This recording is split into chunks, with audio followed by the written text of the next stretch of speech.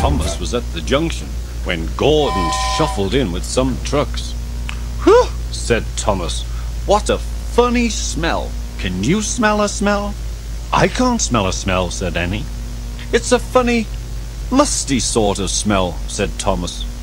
No one noticed it until you did, grunted Gordon. It must be yours. Not long ago, Gordon had fallen into a dirty ditch. He knew that Thomas was teasing him about it.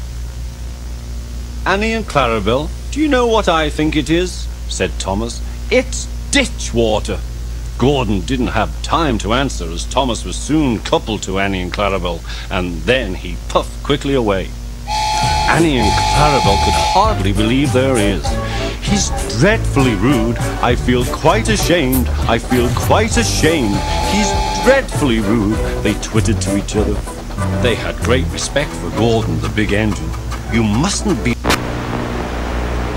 It's making this too much is smoke. horrifying, dude. You better change it up. Imagine little kids looking at it. Be rude. You make us ashamed, they kept telling Thomas. But Thomas didn't care a bit. That was funny, that was funny, he chuckled, feeling very pleased with himself.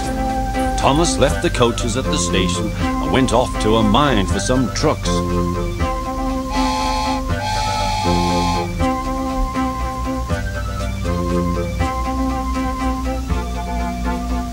Long ago, miners digging for lead had made tunnels under the ground.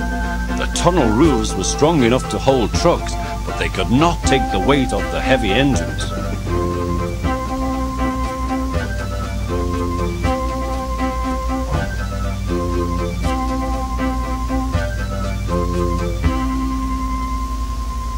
A large notice said, Danger! Engines must not pass this point. Thomas had been warned, but he didn't care. He had often tried to pass the sign before, but had never succeeded. He knew the rules. He had to push empty trucks into one siding and wait to collect full ones from another. This morning he laughed as he puffed along. He had made a plan. Silly old board, he said to himself, getting nearer and nearer to the danger sign. The driver stopped him, and the fireman went to turn the points. Now for my plan, said Thomas, and he bumped the trucks fiercely, jerking the driver off the footplate. Hurrah, said Thomas as he followed the trucks into a siding. Come back, called his driver. There was a rumbling noise, and the rails quivered. Then the rails sagged and broke. Fire and